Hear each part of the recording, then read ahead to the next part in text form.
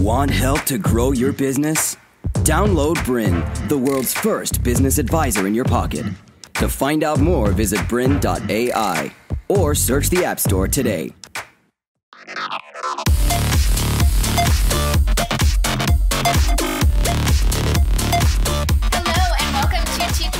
A very serious show that's all about technology and running your business in the cloud. I'm your host, Laurel Grey, and I'm joined today by the wonderful Damien Thomson. Uh, now, Damien is the CEO and founder of Minutit.com, which is a meeting productivity software that we will talk about in another episode. Um, and he also is sort of just got a lot of experience around meetings and web conferencing. And so we're here to pick his brain today on a tool called Zoom. What is Zoom? You're going to find out very shortly. Here is what we're going to cover on this episode. Firstly, why you might need a web conferencing system in your business. Secondly, what is the best practice for running web meetings? Setting up your account and installing Zoom understanding the software and configuring your account, setting up your first video meeting or webinar, inviting other users to join in on the fun, running your first video meeting or a webinar, integrations and getting more out of Zoom. We always like to talk about that.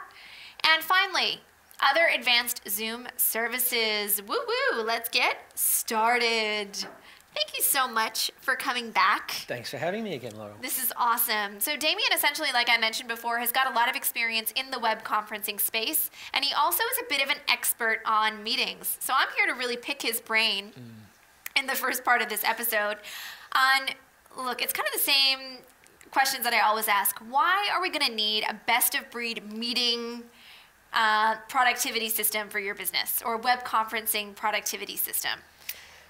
Yeah, well, Laurel, we, we live in a global world these days mm. uh, where people can't be in the same room to meet all the time. Mm. Uh, airfares are expensive. Uh, we need ways to continue doing business. Uh, web conferencing is a fantastic way to actually do that so that you can have face to face meetings with people without being physically present in the room. Mm. And so you recommend that organizations should really pick one tool to use rather than, like, let's say, built-in video conferencing. Yeah, that's right. Uh, I mean, in, in our business, we've, we've trialled uh, several different platforms, um, and we found that working with a dedicated platform like Zoom, uh, you end up with better quality video. Uh, some of the, the buffering issues that you have uh, don't exist, uh, and the quality of calls is superior. Mm. Excellent. So, I mean, are there any other advantages to using uh, like a best of breed tool like that only does video conferencing? Well, the advantage is that you end up working with a provider who specialises in that specific area rather than being a, a, generalist that might have other services that they're developing. Uh, they focus just on video conferencing. Mm. Okay, so it doesn't have any like chat functionality or anything like that. It's just exclusively for video. Zoom also has chat functionality that you can use within the, the Zoom meeting. So when you're actually in a video conference or a webinar, you can still engage in chat mm. during that conference, but not outside of it. Mm. Okay. And I don't know, I really in my business I use Google Hangouts and I use Skype. Yep. So what would be the advantage of picking another tool outside of that that some people might not be familiar with?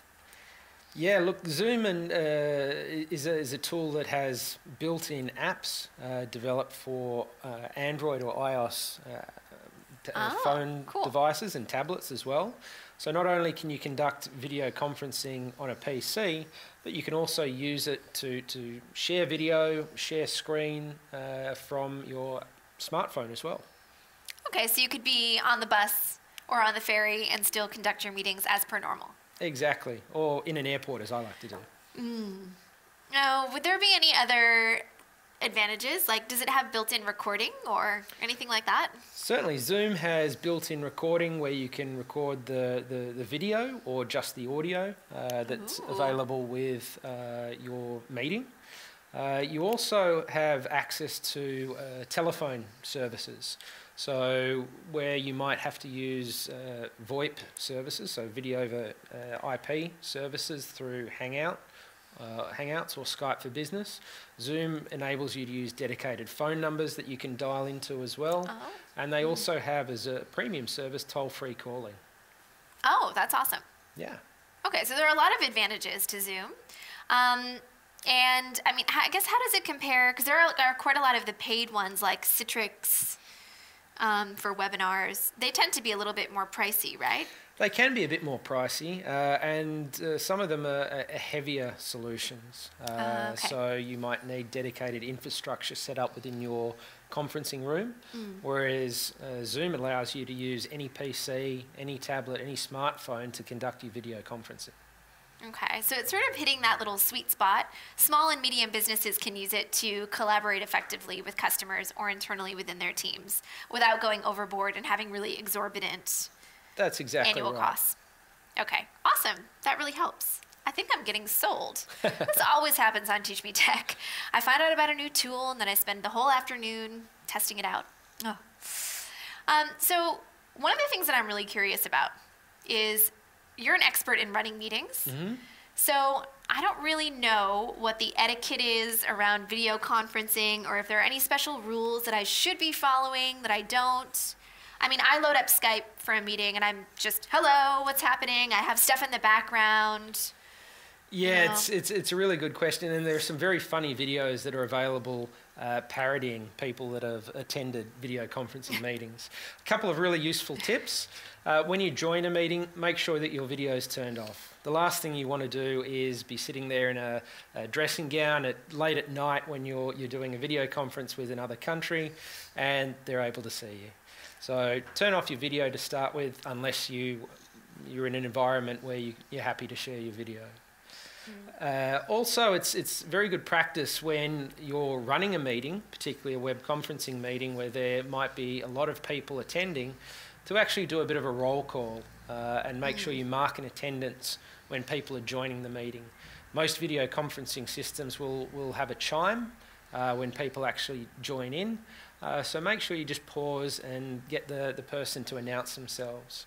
Uh, particularly if you're sharing video conferencing facilities or web conferencing facilities with other users, the last thing you want to do is have people joining that meeting room that aren't supposed to be there. Okay.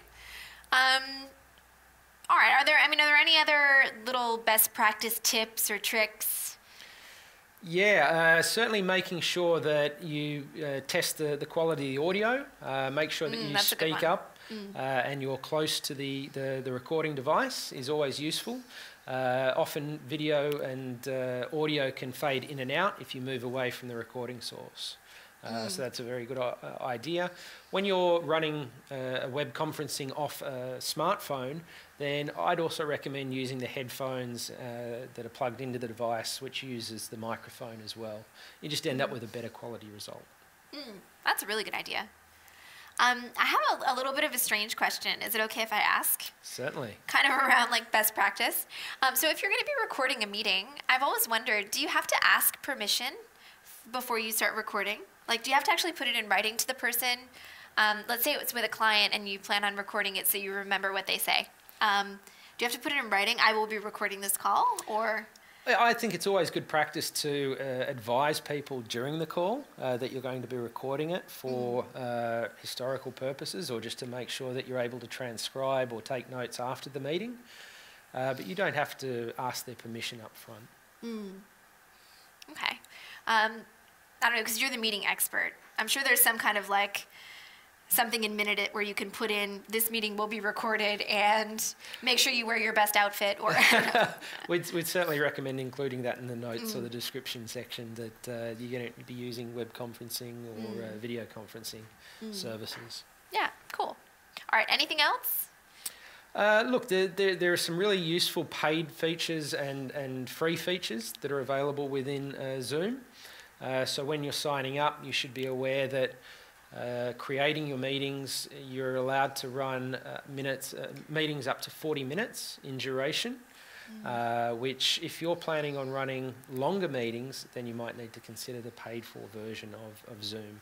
But they have mm. a really uh, very good free version uh, that you can access the majority of functionality, the only limitation being the time frame that you can run a meeting for.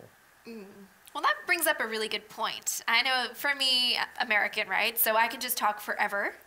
But is there a standard amount of time that you should be spending in online meetings before it starts to get really uncomfortable? Because it's not like in a, in a face-to-face meeting where you can say, "Oh, I'm just going to go and use the bathroom, mm.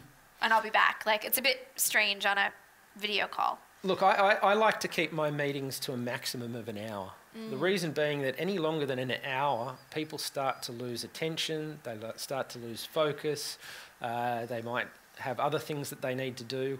So typically, uh, between half an hour and an hour is the maximum that you'd want to pe- keep people uh, in a meeting for. Mm. Particularly online as well, uh, there can be a lot of distractions uh, in the environment around you. So making sure that you're in a quiet place, free of distractions, is, is a good idea as well. Mm. How about getting rid of people that you know they're typing and responding to emails on the other end of the call? Yeah. To continue enjoying this presentation, download BRiN, the world's first business advisor in your pocket. To find out more, visit bryn.ai or search the App Store today.